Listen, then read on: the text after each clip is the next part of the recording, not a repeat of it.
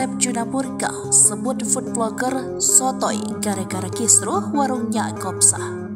Kekisruhan review atau ulasan terhadap warungnya Kopsa belakangan ini banyak menyita perhatian publik.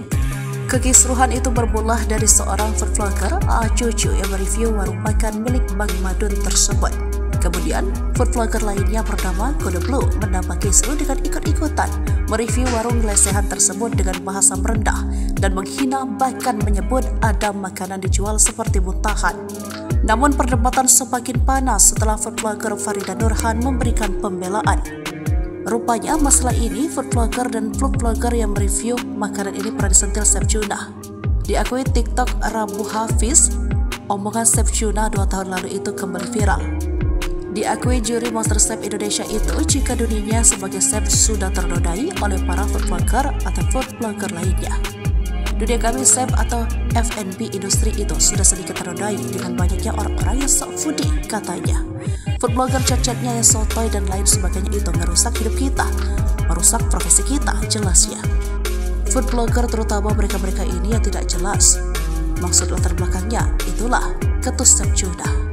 Sarjuna menegaskan bahwa beberapa food blogger saat ini, terutama yang tidak memiliki latar belakang dalam bidang kuliner, sering kali memberikan ulasan tidak relevan. Ia mengkritik praktik mereka yang memberikan penilaian tanpa pemahaman yang cukup tentang makanan dan menciptakan ekspektasi yang tidak realistis. Sarjuna mengungkap perubahan zaman di mana beberapa food blogger memiliki latar belakang pengetahuan kuliner yang minim dan tiba-tiba menjadi tukang ulasan makanan sejak media sosial mulai berkembang. Namun ia menegaskan bahwa ulasan yang tidak konstruktif dan menghina merupakan hal yang berbeda dari memberi kritik yang membangun. Chef Juna menyarankan para food blogger untuk memberikan ulasan yang jujur, konstruktif.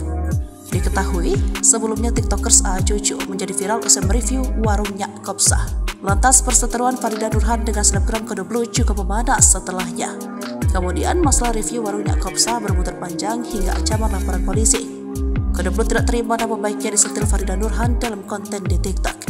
Sementara Farida Nurhan menguliti Kode Blue lantaran memberikan komentar pedas terhadap warung Yakobsah.